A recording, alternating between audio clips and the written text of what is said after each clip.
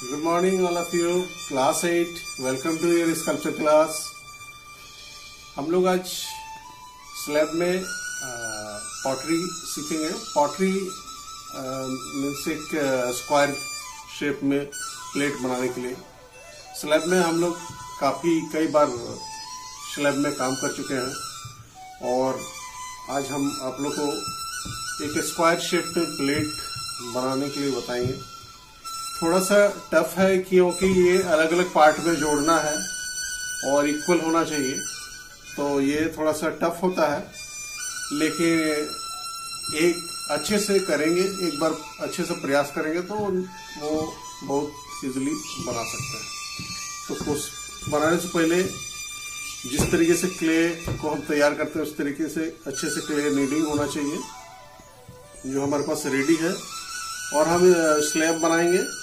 और फिर उसको अलग अलग कट, कटिंग करके उसको ज्वाइंट करेंगे। तो शुरू करते हैं।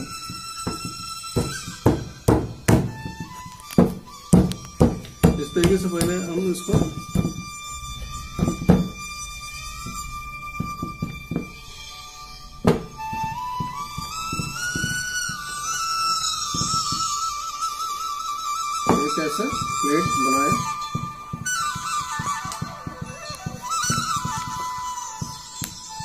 इस तरह स्लेब बनाने से क्या होता है कि मिट्टी के अंदर के जो एयर पॉकेट्स बनते हैं, वो भी अच्छे से हट जाता है।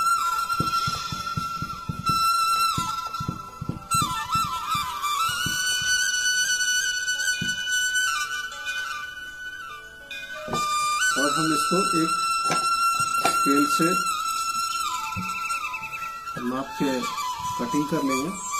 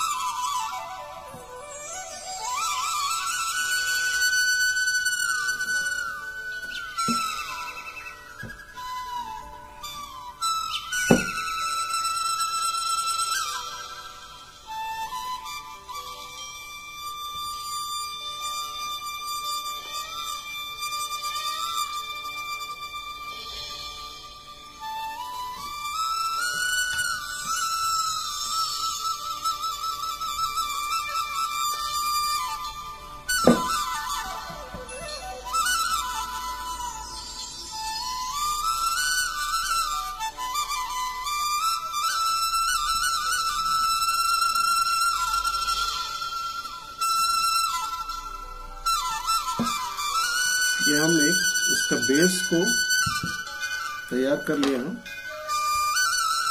और इस पर हम चाहे तो हम इसको पहले से ही एक कॉयल लगा करके आ, इसके आ, बेस को नीचे के फुट रेस्ट बना सकते हैं इसका। इस तरह से कॉयल एक बना के इसमें लगा देंगे पहले से ही तो उसका एक फुट वेस्ट तैयार हो जाएगा। या तो फिर हम उसको बाद में भी कर सकते हैं। इस तरीके से हम पहले ज्वाइंट भी करके कर सकते हैं तो पहले ज्वाइंट कर लेते हैं।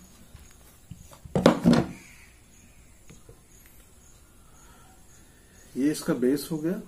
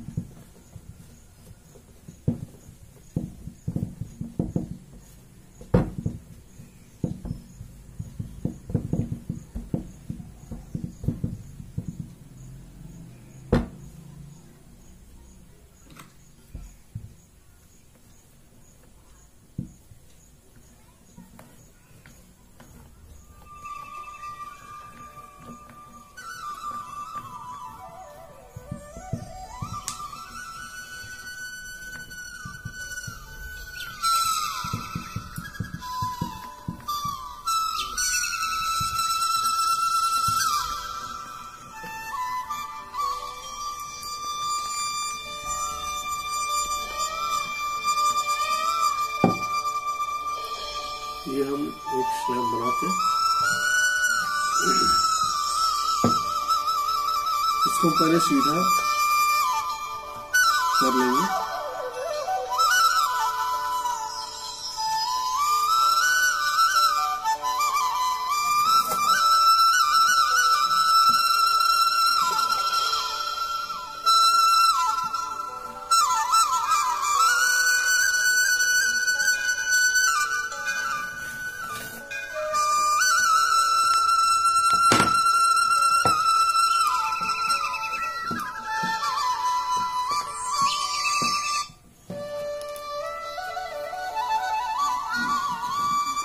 थोड़ा सा ऐसे कॉर्नर को बनाएँगे वी शेप में और इसको हम यहाँ से नापेंगे कि ये और कितना दूर अंदर जाएगा। जैसे हम यहाँ तक बनाएँगे। तो ये हम इतना बड़ा काटेंगे।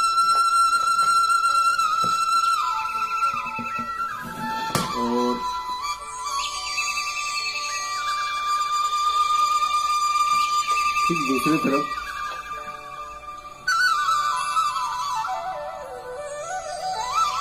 ये थोड़ा सा छोटा पड़ रहा है इसलिए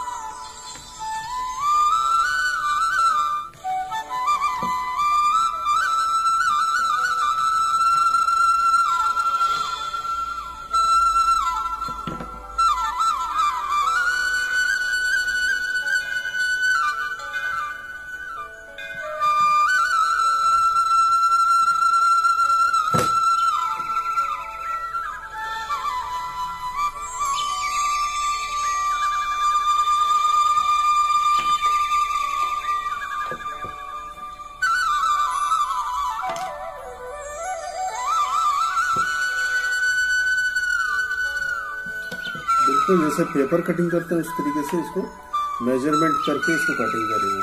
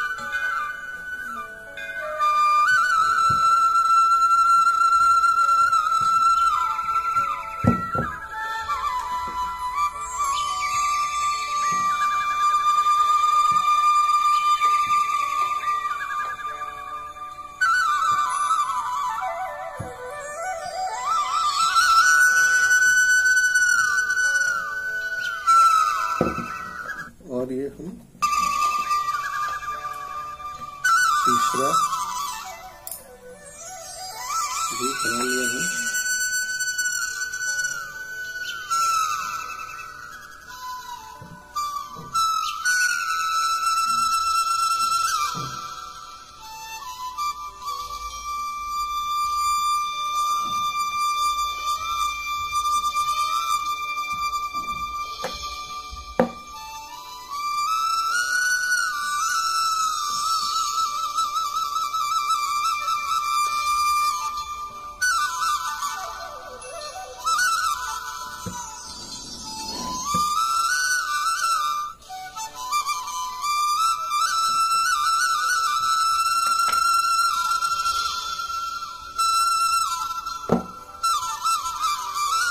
इस तरीके से तीन हो गया। अब हमको आखिरी बनाना है, चौथा। तब जाके हमारा कंप्लीट हो जाएगा। तो फिर हम सेप दे सकते हैं उसको।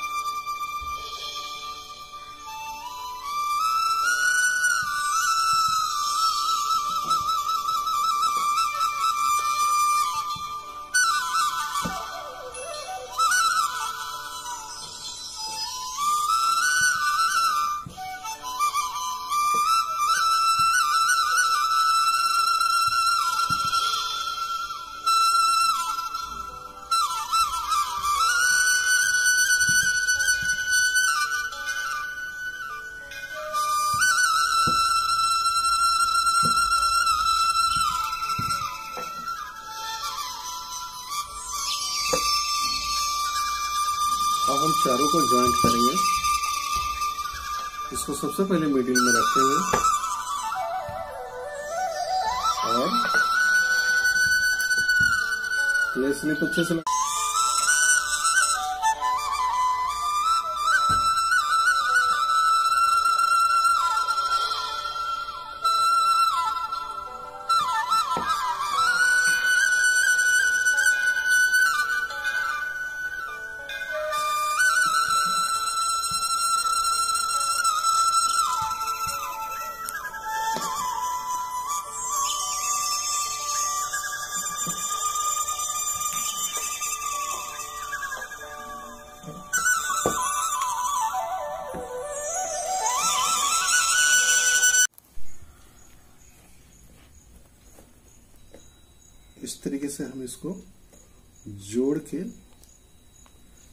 स्लैब को जोड़ करके हम ये शेप प्लेट स्क्वायर प्लेट ये बना दिए।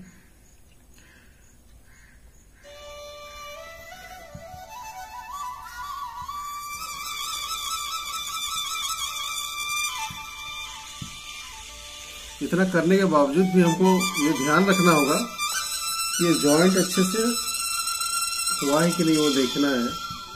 इसे बाहर की तरफ़ से भी देखना है उतना ही अच्छे से कि बाहर में ज्वाइंट हो पाया है कि नहीं।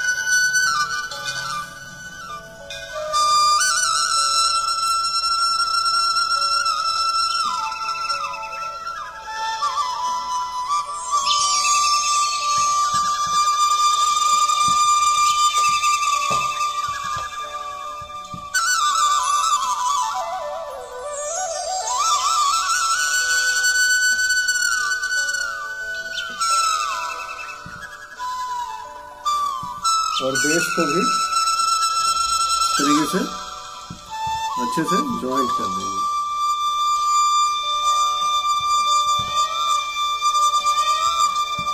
थोड़ा सा अनिभिन लगे तो उसको थोड़ा सा हम काट सकते हैं, बराबर कर सकते हैं।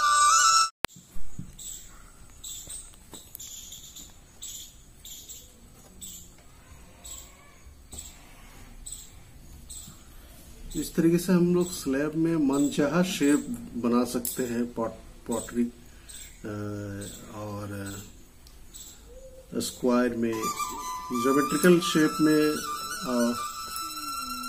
विदाउट पॉटर्स व्हील का तरह तरह का सुंदर शेप बना सकते हैं। बस ये ध्यान रखना कि इसके स्लैब खूब अच्छे से जॉइंट होने चाहिए। तो फिनिशिंग करके इसको खूब अच्छे से तैयार करेंगे तो बनाएँगे। इसको हम चाहे तो मोल्ड भी लेकर के मोल्ड कास्टिंग कर सकते हैं। और ये तरह तरह का पॉट बना सकते हैं।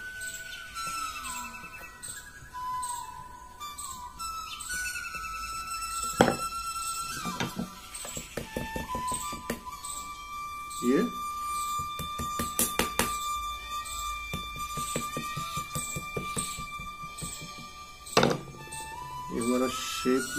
तैयार हो गया। अब इसको हम धीरे से ऐसे कोशिश करेंगे इसको पलटने का, कि पलट जाए। क्योंकि पलट देने के बाद ये जॉइंट जो है, जहाँ नहीं अच्छे से हुआ है, उसको हम जॉइंट कर सकते हैं। थोड़ा सा क्वाइल बना करके हम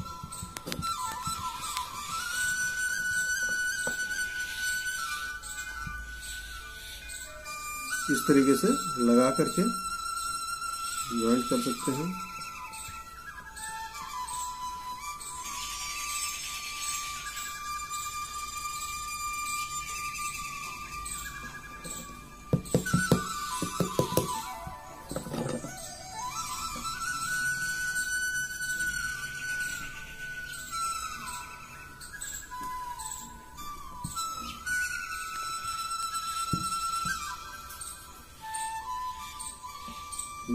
इसका सबसे वीक पार्ट होगा। उसको हम अच्छे से क्वाइल लगा करके, अलग से क्ले लगा करके, उसको हम और मज़बूत बनाएँगे, ताकि वहाँ से वो टूटे नहीं।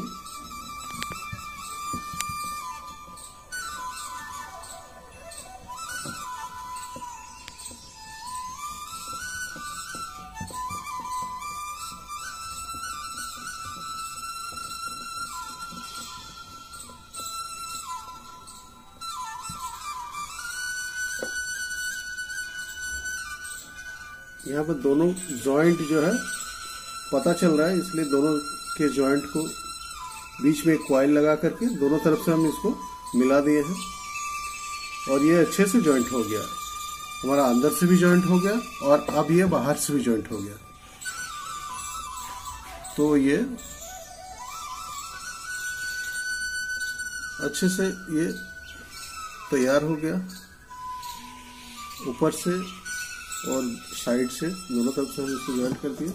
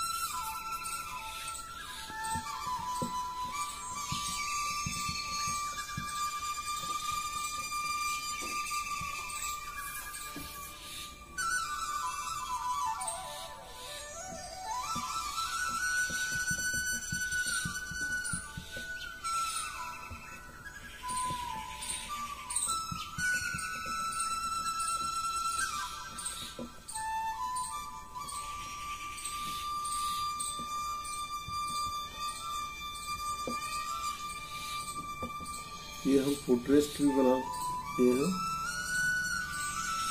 अब इसको चारों तरफ़ से हम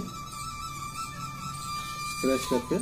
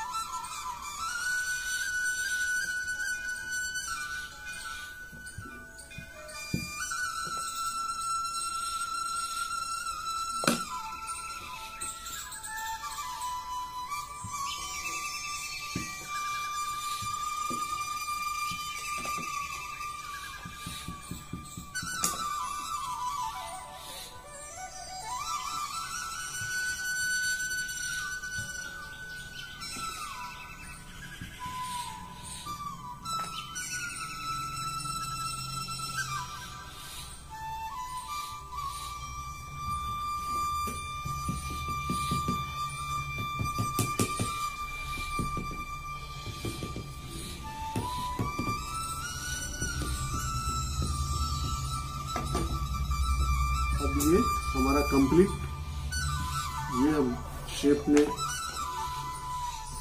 ये प्लेट बना चुके हैं। अब हम इसको इस पे इंग्रेविंग करके ऐसे डिज़ाइन भी कर सकते हैं। कोई भी पैटर्न लेकर के।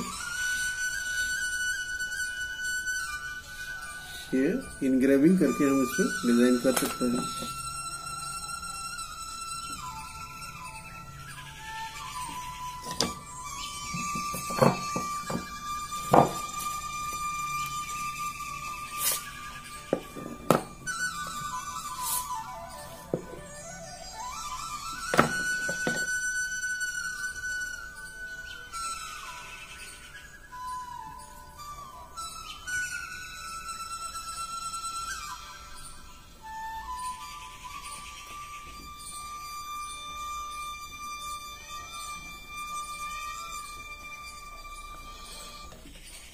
इस तरीके से लाइनिंग कर देंगे।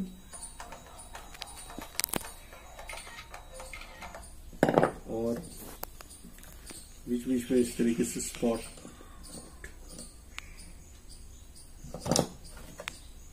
और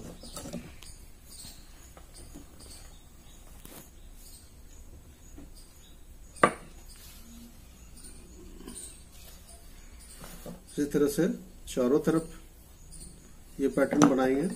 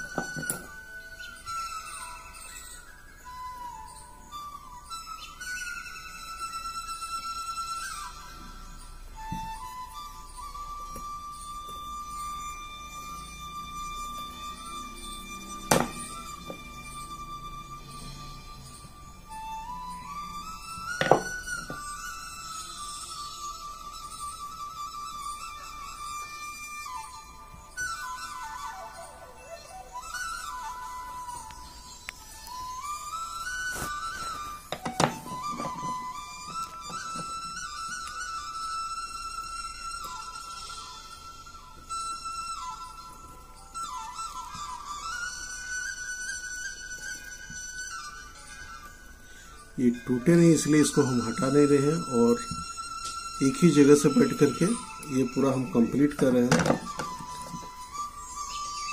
ताकि ये टूटने का डर ना हो हटाने का, उठाने से ये टूट भी सकता है, इसलिए हम खुद अपनी जगह में ही बैठ के ये पैटर्न को ड्रॉ किए हैं।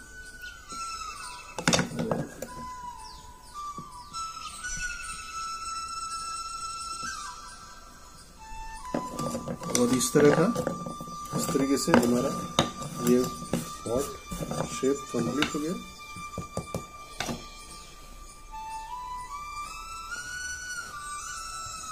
इसको बहुत ही सावधानी से निकालना है, उठाना है। क्योंकि अभी भी ये टूट सकता है स्लैब है। और इस तरीके से हम बहुत ही संभाल के इसको उठाया अब ये हमारा शेप कंप्लीट हो गया।